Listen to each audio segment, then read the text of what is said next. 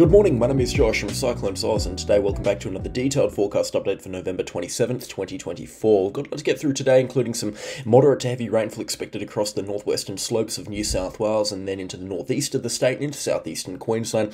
Some heavy rainfall also expected across Victoria. We'll talk about some heavy rainfall expected up in the far north of Queensland as well. Showers and thunderstorms, possibly severe ones over the Northern Territory and parts of WA. And to round things off, we'll talk about a developing tropical low offshore from Western Australia that is threatening to become the season's first tropical tropical cyclone. All of that plus more coming up in today's weather forecast. If you're brand new to the channel, please consider subscribing. But let's get stuck straight into things with New South Wales and Victoria. I'm not going to pan away from this image here because we do have a radar loop over the last six hours, which is quite rare for this channel. We never managed to get this stuff staying around for long, just considering how slow the bandwidth is here. But you can see that there has been a substantial amount of moderate and at times heavy rainfall streaming in across inland parts of New South Wales, impacting communities from the border with Queensland. In fact, probably a little bit further north up towards Windora, extending down towards Cobar through Bourke and then uh, down towards Griffith and Wagga Wagga. And some heavy falls have also been reported into Victoria, where the actual heaviest rainfall has been, with Mount Buller picking up around 50 millimetres and a couple of adjacent communities picking up between 50 and 60 millimetres of rainfall as well overnight. Some good falls also into the southern part of Victoria as well around Melbourne. Uh, I believe they've picked up about 20 millimetres of much needed rainfall as well, and you can see the extratropical cyclone powering this system. In fact, we're going to zoom in and get a better look at this system here, really wrapping itself up as it makes its crossing over Kangaroo Island, bringing a couple of showers into the south, uh, southern parts of South Australia, but nothing too serious. Same deal with Tasmania, a bit of rainfall there, but nothing too serious. So let's jump to the forecast now and take a look at what is expected over the next three days. Now, the rainfall here is going to drop off over the coming couple of hours, but behind it in its wake, especially for the southwestern corner of Queensland, we're going to see some significant thunderstorms far up tonight, especially around Birdsville and Windora. We'll be seeing a couple of gnarly thunderstorms blow tonight, the chance of them being severe as well. Uh, the severe storms will be very hit and miss. There's only going to be a few cells here and there. There will be a couple more pulse thunderstorms, especially as you head further north up towards Mount Isa and Julia Creek. There'll be a couple of good storms up there. But in the southwestern corner of Queensland, the northwestern corner of New South Wales, there is going to be the chance of thunderstorms bringing some heavy rainfall and damaging winds, and maybe the chance of some medium to large size hailstones. There'll also be a line of thunderstorms moving through the interior parts of Victoria, especially around Shepparton and Mansfield. You can see them here moving through the interior parts of the state north of Melbourne. Melbourne actually unlikely to receive any significant impacts from these thunderstorms. The chance of a thunderstorm is still there for Melbourne and Geelong, especially this afternoon. But yeah, around 5 or 6 pm tonight, we'll likely see a line of thunderstorms develop across interior parts of Victoria. And apart from that, nothing really expected across New South Wales, Victoria beyond this. You can see a couple more thunderstorms expected to fire up into Thursday morning uh, and Thursday afternoon across the central parts into the northeastern parts of New South Wales. Sydney as well, same with Wollongong, chance of thunderstorms tomorrow afternoon and evening. You can see here the chance of also severe thunderstorms across some of the plains uh, adjacent to the Blue Mountains along the New South Wales coastline, especially around Sydney and Wollongong. It's been a while since they've had a chance of severe thunderstorms on the forecast, and it does look like tomorrow that chance is going to be there. Very good conditions for thunderstorms as well. Great mid-level humidity values, uh, excellent convective available potential energy values, especially for New South Wales at this time of the year. It's looking really flash indeed for some of these thunderstorms. It's also going to be a warm day as well, so those thunderstorms will have a field day in some of those uh, conditions. Uh, of thunderstorms as well out towards Lightning Ridge, and we'll get also the chance of some severe ones out there tomorrow afternoon. It's going to be Friday though when this rainfall really does pipe up, and it is still an interesting aspect on the forecast here. You can see thunderstorms and showers blowing up from Friday morning, and I think how this is going to look here, this weather pattern, it is going to be a kind of hildy-bildy line of rainfall, uh, or line of showers tending to rainfall at times, especially as you get further towards the coast, out towards Tamworth and Cessnock and the Barrington tops. The rainfall there is going to be a little bit more steady, but we'll likely see a line of showers develop into rainfall throughout the course of Friday morning, bring those heavy falls into the interior parts of New South Wales. Uh, the heaviest falls will be isolated around the Tamworth, Armidale, and hopefully Glen Innes area, parched for rainfall out there. They desperately need it. But inland from Newcastle, Taree, and Forster, the heaviest falls will be in this area. But we'll also see some moderate rainfall further out inland, as I've just said. And I wouldn't be running off rainfall accumulations on Friday or to the 9am on Saturday of being at least 50 or 60 millimetres further inland. I mean, you can already see Saturday morning some very heavy falls piping up around the Dubbo area. And they, this has been steady over the last couple of days. This forecast, at least, will likely see a line of moderate to heavy and at times very heavy rainfall move through the interior parts of New South Wales on Saturday morning. It's going to look like kind of a play it by ear type thing and have a look at what's actually materializing on the rain radar on Saturday morning. I, this forecast does look like it is a little bit complicated this time, but powered by a low pressure system that's likely to sit over interior parts of Victoria and New South Wales, we will likely get a very nice band of rainfall extending right through New South Wales eastern half or central to eastern half, and even up in towards Queensland as well, which we will get to in just a few moments. But yeah, some very good rainfall looks like it's going to come out of fruition, uh, come into fruition from this event here. You can see rainfall accumulations out till Sunday afternoon of at least 150 millimeters around the Coolah and Dubbo area. Dubbo actually expecting about 100 millimeters. Also, the majority of that falling Friday morning into the Friday afternoon kind of time frame, and then Saturday morning into Saturday afternoon. It looks like there will be a couple of hours break between the two bands of rainfall coming through on Friday and Saturday. Like I said, those heaviest falls coming through Saturday, uh, Friday morning, and then Saturday morning into the afternoon. Also, some good falls expected to back itself up against the high peaks into the New South Wales high country and also into the Victorian high country. I think rainfall accumulations will blow out substantially more than what they are on the forecast right now, especially for Thredbo. I'd be surprised if Thredbo didn't actually pick up 150 millimeters of rainfall uh, and the chance of some snow flurries as well, just considering the nature of the low pressure system here on Saturday evening. I'd be surprised if Thredbo didn't pick up 150 millimeters from this weather event in all. It's going to be quite a wet one indeed. Some good falls also into the northeastern corner of New South Wales. Like I said, we'll get in Lightning Ridge expecting between 50 and 80 millimeters. Grafton about 60 or 70 millimeters expected. Armidale and Inverell unlikely to pick up um, too decent rainfall. They will still likely see about 30 or 40 millimeters. And same story for Glen Innes. Unfortunately, the rainfall just doesn't look like it's going to come into fruition in just this area here, which is a parched area of New South Wales and really deal with the do with the rainfall at this time.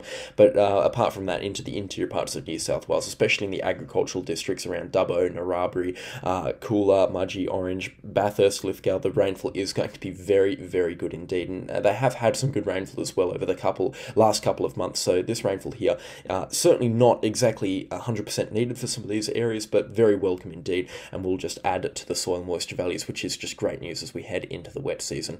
You can see it here, soil moisture values across the entire eastern half of New South Wales, much above average by next Sunday. In fact, for the majority of the state, the soil moisture values are well and truly above average. So very, very good to see. I'm very happy to see this, and I imagine a lot of other people will be very happy to see this on the forecast. We've spent long enough talking about New South Wales, Victoria, and Tasmania, so let's shift focus here and talk about something a little bit more tropical. And I would like to give Queensland a bit of attention now. Into the southeast, spoiler alert, there's really nothing of interest coming through over the next 10 days, and I will break it down for you if that does change. You can see a couple of showers expected here and there throughout the course of today and tomorrow. Also, a couple of showers moving through on Friday into the southeastern corner. There will be showers and storms, or the chance of showers, not storms rather, on Saturday, but it doesn't look like it's going to be too high that chance, and we will revisit that again on Saturday. But I will just pull this back to Thursday because you can see showers and thunderstorms developing in the western half of the state, especially around Mount Isa. They're expecting quite a decent thunderstorm outbreak of some gnarly thunderstorms tomorrow afternoon, and then this outbreak kind of just progressively heads further uh, towards the east as the days go on. You can see uh, storms turning to rainfall at times across the western interior parts of Queensland around Longreach and Windora, or further towards the west of Longreach and Windora, and then a couple of nice thunderstorms extending between Karumba and Hughenden uh, through Georgetown and Forsyth, and there's also the chance of some thunderstorms Friday afternoon and evening extending up the Cape York Peninsula. Again, nothing too crazy expected here. Late Friday night, we'll likely see an outbreak of severe thunderstorms along the Cape York Peninsula, extending down towards Charters Towers and maybe even as far south as Matabara and Clermont, but unlikely to impact those communities there. And then we will see an onshore flow pick itself up from Friday night into early Saturday morning. That's going to be driving those thunderstorms and showers here and there all throughout the far north and the central north of Queensland throughout the course of Saturday. You can see an onshore flow here driving some showers and storms ashore throughout the early hours of Saturday, impacting areas around Charters Towers, Townsville, Bowen, and Ayr. And you can also see those uh, storms firing up in pretty dramatic fashion on Saturday night to round out November. And then for the official start of summer, we have an outbreak of thunderstorms. Let me tell you, for communities extending north of Mackay, pretty much all along the coastline, within 100 kilometres of the coastline, up to Thursday Island in the far north of Queensland, you are expecting thunderstorms Sunday night. This is a pretty intense forecast, that's for sure. Atherton Tablelands finally expected to see some good rainfall on Sunday. It's been bounced around in the forecast for the last couple of days, and a lot of people getting very excited for it, especially in my comment section. So this rainfall here looking very good indeed, and getting a lot of people excited. However, it is now pretty likely to occur on Sunday, and some good rainfall is expected out of that. Let me tell you. In fact, just over that 24-hour period through Sunday, uh, you can see accumulations expected to be in excess of 30 or 40 millimeters over a wide swathe of northern Queensland, which is great to see indeed. And the rainfall from these thunderstorms here, especially because they're going to be pulse thunderstorms, slow moving, uh, and likely to drop some very heavy rainfall at times, the accumulations could blow out substantially more than what they actually are reporting on the forecast here. So we will have to wait and see what actually happens on a Sunday afternoon and evening. Then that onshore flow pipes up. You can see showers and storms adjacent to the Queensland Queensland coastline on Monday. Those showers continuing through Tuesday as we get a bit of a monsoon burst piping up from Tuesday through Wednesday, and then those showers finally easing off Wednesday night into early Thursday morning, and some good falls expected up in the far north of Queensland from uh, Monday, Tuesday, and Wednesday, potentially up towards 100 millimetres over just this time frame this week and then into early next week.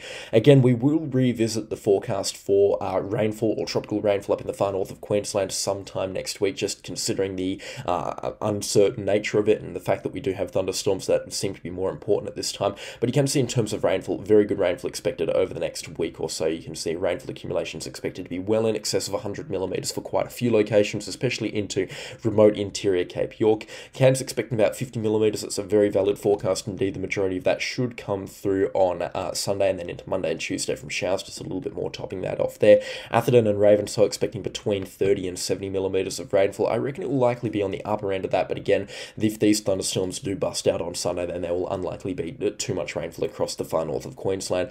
Uh, then having a look at Cardwell and Ingham as well, some good falls expected there. Townsville likely to escape the worst of it in terms of thunderstorms. Bowen as well likely to escape the worst of it. Charters Towers likely to get pumped though from thunderstorms on both Friday, Saturday, and Sunday nights. We could be seeing accumulations there amount to up towards 150 millimetres. Again, a very plausible forecast, just considering that that is two or three very good and very wet storms, completely possible for this time of year. The rainfall, uh, especially just immediately inland where those thunderstorms are going to fire up, is going to be quite intense indeed, especially over uh, Saturday and Sunday nights. And then further down the Queensland coastline onto the central coast for Ogmore, Rockhampton, Glad, uh, Gladstone, Agnes Water, and Bundaberg, the rainfall, they're not looking too flash, but still over the next 10 days, we could be seeing accumulations up towards 20 or 30 millimetres, maybe a little bit more for Bundaberg. There does look to be some good rainfall piping up along the Sunshine Coast from uh, Wednesday and Thursday onwards. We might be seeing a bit of a thunderstorm outbreak into the first uh, week of December. But again, in terms of rainfall, it's very hard to say at this point that they're going to get some good rainfall. I would love to be hopeful and optimistic optimistic for the central Queensland coastline. But unfortunately, bar Sunday, where we are seeing some good storms here and there, especially into the southeast of the state, it doesn't look like the rainfall is going to be too flash for the central coast. It's kind of the only coastline of Queensland that properly misses out on the rainfall over the next 10 days, which I imagine is going to upset quite a lot of people that do desperately need that rainfall out there. All in all, for Queensland, looking very wet indeed. Lots of storms to cover. In fact, I've probably missed an awful lot of them in this forecast, so please do let me know if I've left you confused or if I've missed the forecast to your location in the comment section down below, and I'll get back to you as soon as I can. It is a very complicated East Coast weather forecast for Queensland, New South Wales, and Victoria. We're not just talking about isolated thunderstorms across the southeast of Queensland, we're talking about thunderstorms across 90% of Queensland, pretty much 100% of New South Wales, and 100% of Victoria as well. So it has been a very complicated and difficult forecast to put together. And then across into Vic- uh, Victoria, about as far away from Victoria as we can get right now, into the Northern Territory in Western Australia. Some thunderstorms also expected to round out the remainder of this week. We've had some good storms overnight, up to 100 millimetres has fallen outside of Adelaide River once again to amount to the 100 millimetres that they have seen on Monday night as well. So the rainfall accumulations really quickly piling on there. Great falls expected tonight as well. Some very widespread thunderstorms also expected tonight and also into tomorrow morning as well. We could be seeing a couple of severe thunderstorms around the Wave Hill and Elliott area throughout the course of tomorrow morning and then into tomorrow evening. Thunderstorms into Arnhem Land as well on Friday morning. It looks like we're just going to get a line of showers and storms being pretty consistent along the trough line extending through the Northern Territory and then into Queensland, attaching itself to that low pressure area that's going to develop this weekend uh, over New South Wales. And that's just going to create a connected line of thunderstorms extending right across the eastern half of Australia and especially across the interior parts of the Northern Territory, like I said, around Elliott and Wave Hill. Those rainfall accumulations are going to pile on very, very quickly. Likely to escape the worst of the thunderstorms on Saturday night. You can see a couple of storms expected here and there around Darwin on Saturday night, but uh, in terms of rainfall, not likely to be too much. And then a return to the more tropical pattern of pulse thunderstorms in the evening through Sunday, Monday, and Tuesday into the early parts of December. So let's take a look at rainfall accumulations over the next couple of days. So the remainder of this thunderstorm outbreak, it kind of closes out on Saturday morning, but you can see rainfall accumulations just over this next three-day period, well in excess of 100 millimeters millimeters in uh, interior parts of the Northern Territory outside of Tennant Creek and Elliott. And this has been very consistent over the last couple of days. Mount Isa also likely to get pumped from thunderstorms tonight, tomorrow night, and Friday night as well. And you can see accumulations there well in excess of 120 millimeters. Uh, Darwin not expecting too much rainfall over the next three days, but it's going to be the accumulations from Saturday onwards that really do pile on up there. And from the week from Saturday uh, right through the first week of December, you can see accumulations there expected to be in excess of 100 millimeters from just thunderstorms. Very typical, very stock standard weather for this time of the year, but still some substantial accumulations there, and the rainfall really beginning to pipe up now for locations across the Northern Territory. In fact, since the official start of the wet season, some places have seen over 300 millimetres of rainfall. And of course, it is the wet season, like I've said about a million times in the last minute, but again, that is a substantial amount of rainfall, and the risk of flooding is now starting to build. In terms of interesting stuff over in the west, nothing crazy to report on. You can see in terms of rainfall, there's nothing really uh, here. It's going to get quite warm, however, to round out this week. In fact, especially into the southwest, with the west coast trough expected to develop around, you guessed it, the west coast.